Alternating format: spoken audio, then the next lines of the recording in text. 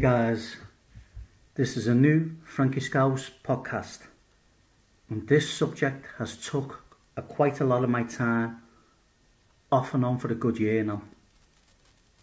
The Bullingdon Club ties into the conspiracies that we write about on the conspiracy site. Right, what do we know about this club? It was founded over 200 years ago and is an exclusive but unofficial all-male students dining club based in Oxford in the UK. It is noted for its wealthy members and originally it was a so-called cricket club but reading many links that is all just a front.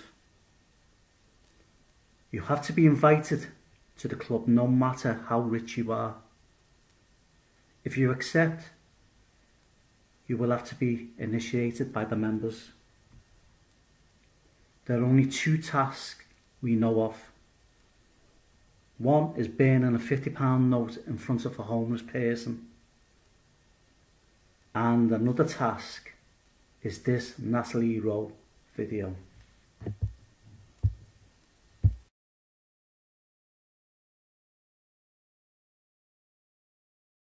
And you Yep. tweeted Pigeon Gate.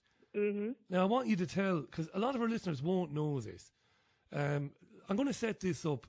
David Cameron has been accused by Lord Ashcroft of inserting his penis into the mouth of a dead pig as part of an initiation ritual.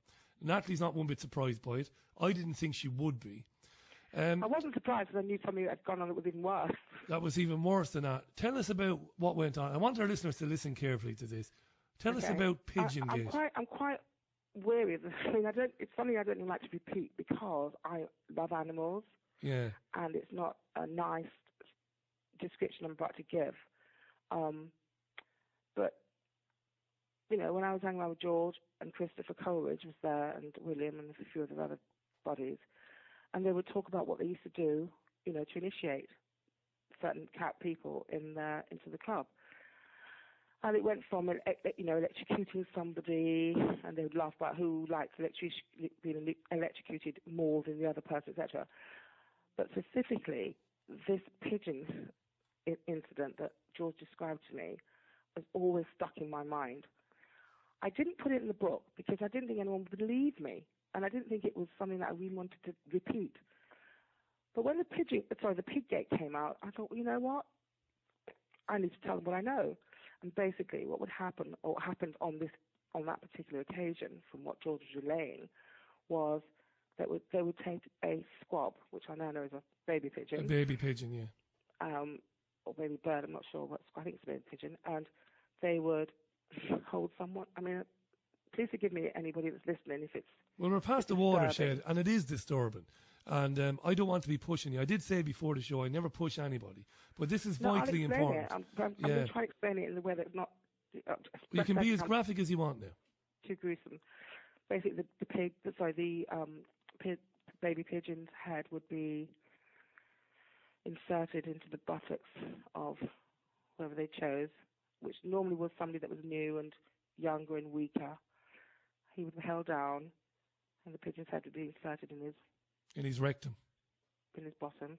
Yeah. Uh, uh, but the thing is, that the pigeon's the baby squab is alive, and it would be inserted. It would peck away and until it suffocated, and it would cause the person pain and also And, and, the, a lot of distress. It's disgusting. I hate repeating it, and I don't think I will again after tonight. yeah, and I don't blame you.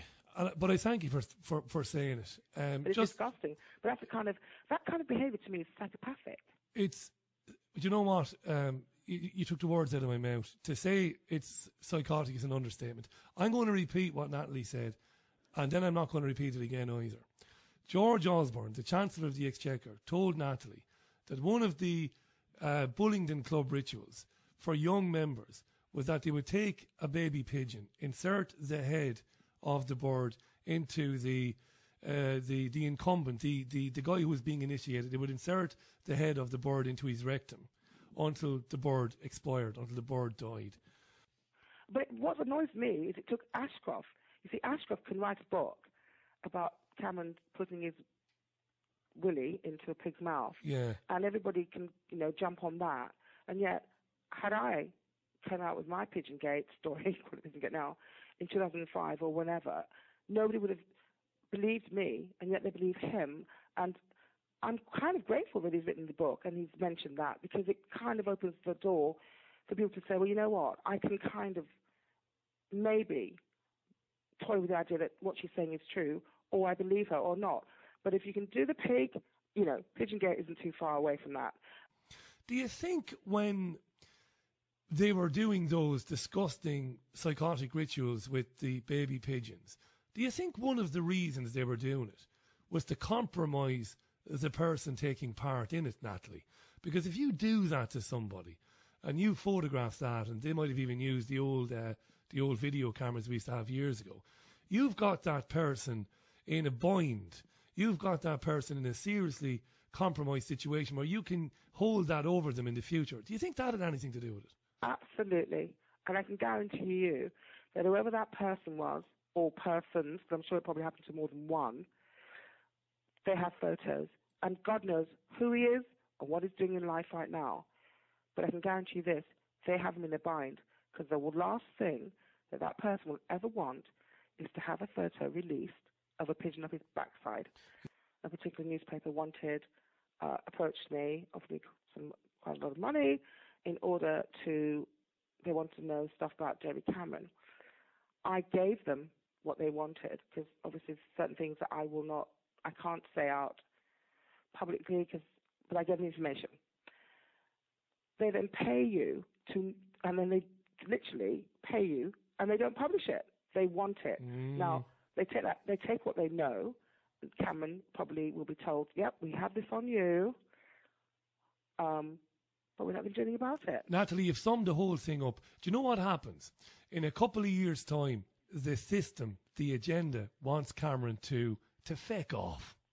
And by the way. P.S. Watch this space because in a couple of weeks there was a minister that is going to be outed. I've been told not to talk about it today, but trust me, in two weeks' time, sweetie, somebody needs to. If, if they don't resign, we're going to have to ask why. Well, we'll watch it quickly, and uh, maybe you'll come back on with us in two weeks' time. Yeah, it's going to be out there. Hopefully, fingers crossed. Classy bunch, eh? All the members swear a code of silence or use the Latin word omerta. So who are these people we know about that have joined the Bullingdon Club? Here is a sample.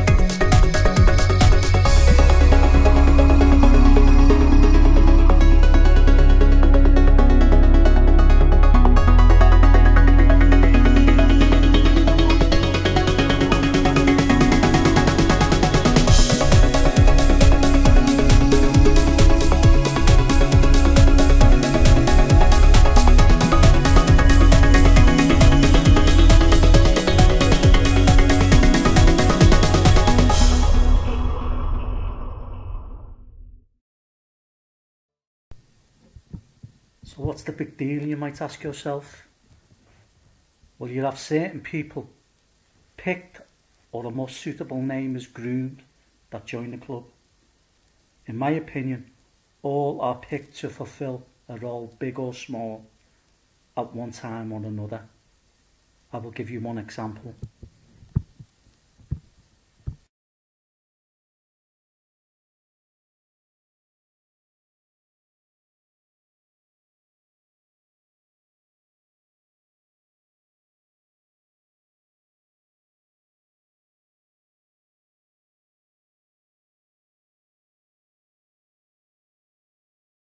How come there's been uh, not a lot of talk about them in the press recently? Because I, I noticed is a few years ago now, uh, the Daily Mail published famously published a uh, picture of uh, Cameron in his penguin suit uh, as a Bullingdon Club member. Uh, but I understand that actually there's quite a lot of pressure from the Bullingdon Club for the national newspapers not to allow these to appear in their pages. Why is that? Well, let me tell you something quite interesting. Uh, do you know you know who Lord Rothermere, of course.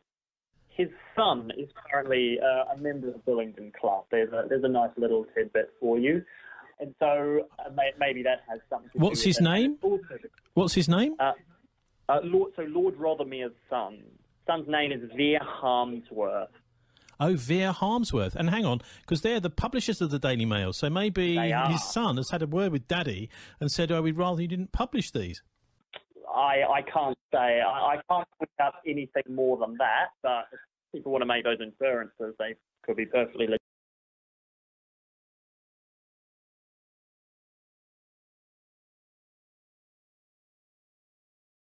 You don't have to be a brain surgeon to work out that there is some type of corruption going on since the club was first founded and that continues today.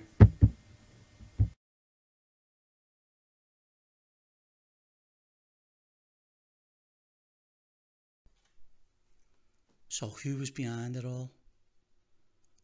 All clubs have members, but, but there has to be a figurehead behind it all. I know a lot of you will be thinking that the Rothschilds are behind this. A powerful dynasty, no doubt, but to me that's just too obvious. And also powerful people, real powerful people, hide in the shadows.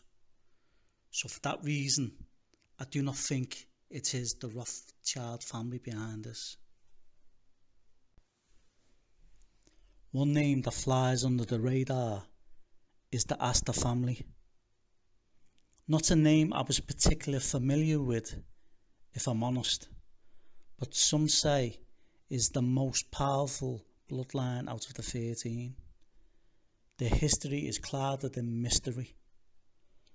From a Jewish bloodline, their Jewish origins have been hidden, and quite a number of various ideas of the Astor's heritage have been put into circulation by the Astors themselves. Yeah, so we, we have uh, wars that are are created, manufactured wars. Then you got a lot of the a lot of the storylines uh, I just laugh because they remind me of Back to the Future and Biff. You know, you have this like Aristotle Onassis. Uh, his family uh, was from Turkey, and he goes to Argentina um, as uh, about I think he was like 19 when he went to Argentina, Buenos Aires, and he was washing dishes and, and arrived as a refugee, penniless and within a year, he was a millionaire. Um, and people say, well, he just worked long hours at washing dishes. uh, what was their family involved in back in Turkey? Well, it was applying opium. And uh, there's a, a group of men in Europe that have made decisions, the Council of 300, 300 men, wise men, that for a couple centuries at least have made the decisions for Europe, and they decided which families would be allowed to trade in the opium. One of the families that they decided that they would allow to become rich was the Astor family. So we have another Biff in Back to the Future story where we have this guy, John Jacob Astor the first, and I sent you a picture of him. Uh, the, the guy was a butcher helping his dad and then he he comes to America, and his brother in New York City was given a monopoly by the British when they were controlling New York City during the American Revolution. He, he was given a monopoly by the British to supply the beef for the British army that occupied uh, New York City during the war. What a lucrative uh, uh, monopoly.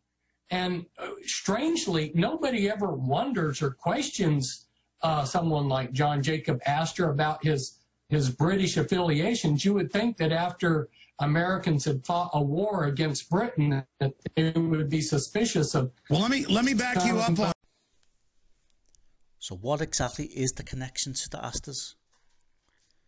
Respected Field McConnell writes that David Cameron's in-laws, yes, you've guessed it, the Astor family, have film of Cameron taking part in an act of which they used to blackmail him. The Astor family are of course a very old satanic bloodline family who some say are the most powerful of all the 13 bloodline families. Even the mainstream media were forced to admit that Sam Sheffield was a strange choice for Cameron. The following is taken from the Daily Mail.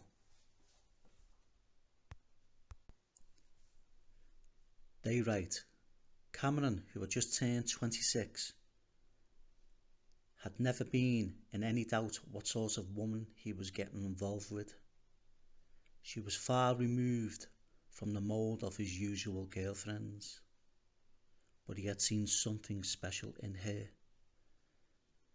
And now, following months of research and interviews with friends and colleagues, we can disclose how Samantha's steely resolve, plain speaking advice, advice, sorry, and initiative, if untutored political instincts, have been instrumental in helping him climb the top of the Conservative Party.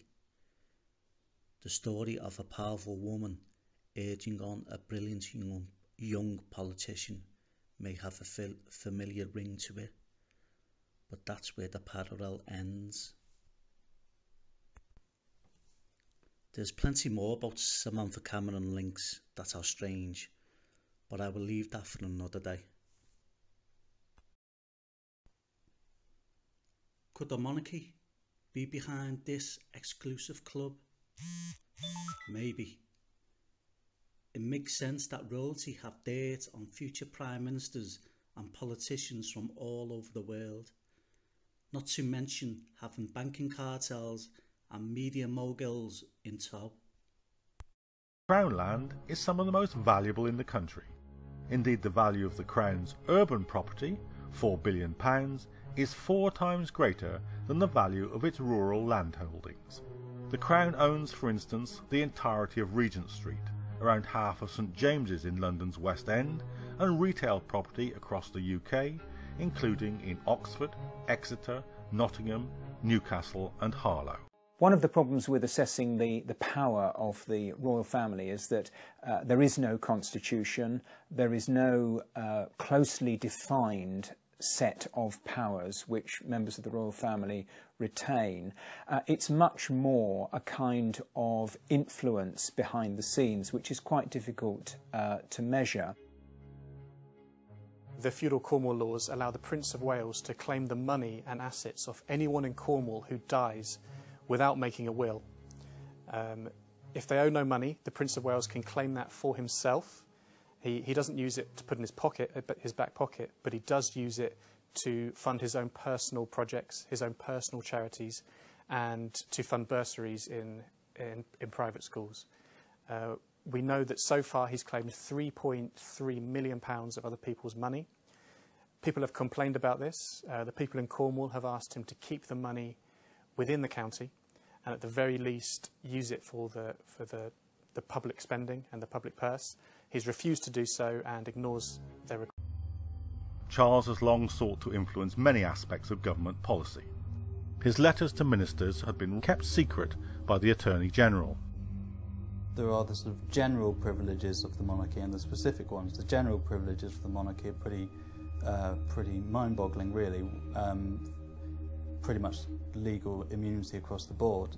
I mean, there's been various sort of wranglings to to make it possible to bring certain kinds of legal proceedings against the royal family, but it's pretty much de facto impossible. Um, and then, of course, there's the kind of specific um, privileges they have, which is we've seen with the Black spider, the so-called black spider memos. When you look at what the scale of these letters, it is quite quite worrying. For a long time, there were suspicions that there have been suspicions that Prince Charles writes a lot of letters to ministers and other people, actually, advocating his, you know, his opinions and putting forward ideas on how um, the government should do things and you know how things should be changed. And these have gained the the sort of the, the nickname Black Spider memos uh, because he's meant to go and write them late at night in his handwriting, which is quite scrawly. Ten years ago, 2005, the editor uh, uh, of The Guardian approached me and asked if we could use the Freedom of Information Act, which had just come into force then, to try and find out uh, what letters Prince Charles had written to ministers and what they've said and what their response had been. Uh, so we pursued it uh, from then. The government attempted to keep the letters secret in the face of a legal challenge from the Guardian newspaper. But recently, the courts ruled that the government had been wrong to prevent the publication of the prince's attempts to influence government. When the Attorney General Dominic Grieve in the last government sought to veto the publication of the prince's letters, he did so, he claimed, because they would be seriously damaging to his role as a future monarch. If he forfeits his position of political neutrality as heir to the throne, he cannot easily recover it when he is king. Prince Charles writing letters to government ministers is quite clearly able to get a hearing, quite clearly is able to influence policy. Some of the responses from government ministers which have come out have been quite sickeningly obsequious. Um, a clear fawning by Labour ministers um, uh, in some cases on leading members of the aristocracy, as if Prince Charles has some right over other citizens to interfere in the political process. These letters were extremely rambling, they were very long and drawn out. He talks about so many things, all his, his kind of bugbears and, and his pet projects, everything from Irish jails to beef farming to herbal remedies to uh, military supplies. There's pretty much nothing left that he hasn't got to talk about government ministers were, were very keen and quick to respond to Prince Charles. Tony Blair became a bit of a pen pal of, of uh, Prince Charles. And I think the Home Secretary of the time, Charles Clarke, he used to sign off these letters from your humble and obedient servant. So, as you have seen, the monarchy certainly has the clout to dictate and blackmail clubs like Bullingdon and its members. My guess is that they are behind this. You can make your own mind up. Two cases concerning deaths connected with the club include Bullingdon member Bartholomew Smith, son of a former Conservative MP, who in 1977 caused a free car pile-up while driving his Maserati car.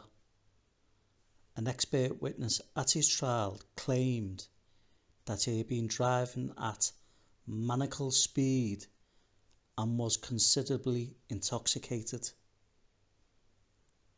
After a club dinner, he killed four people, including Chelsea footballer Peter Houseman and his wife. Despite being convicted of dangerous driving causing death, and having four previous driving convictions, he got off with a ban and a fine.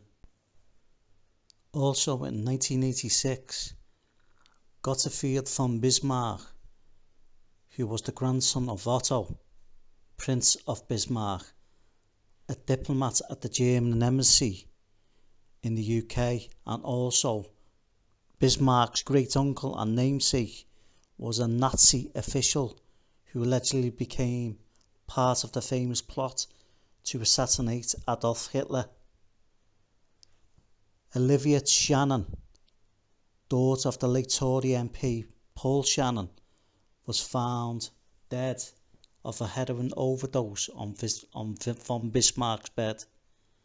Following Olivia's death, von Bismarck was charged with drug possession and fined £80, whereas your average Joe would have at least got three to six months in prison. That was not the last time von Bismarck would get the benefit of doubt concerning the law.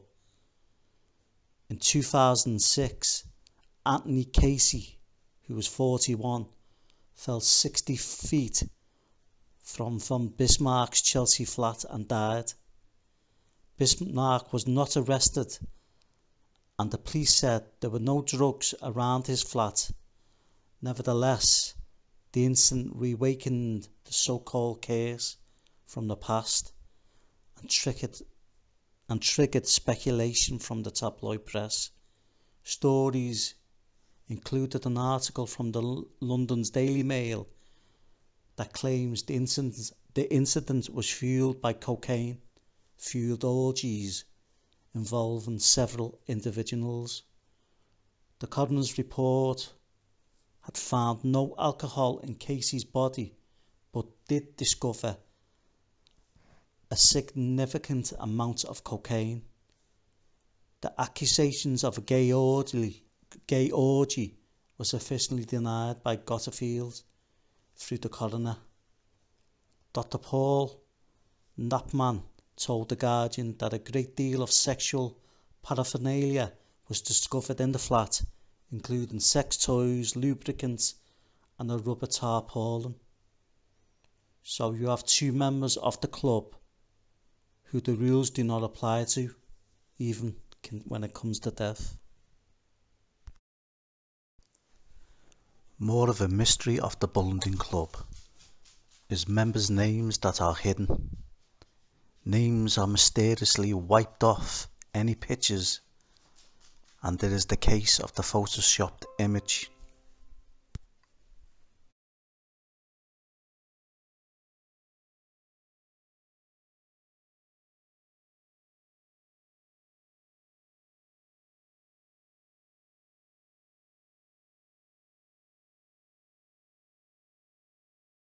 time. Uh, it, it, then led to uh, talk about the Bullingdon Club. And this was something that Peter Hitchens pointed out in the Daily Mail. Look at this picture of the Bullingdon Club. Initially, people were looking at the picture and it was in the papers, but no one saw that we've got a, a lapel there on the left and, a, and what looks like a, a, yeah, actually, no, on the right, and the left, another part of someone's shirt, and the rest of them has been airbrushed out.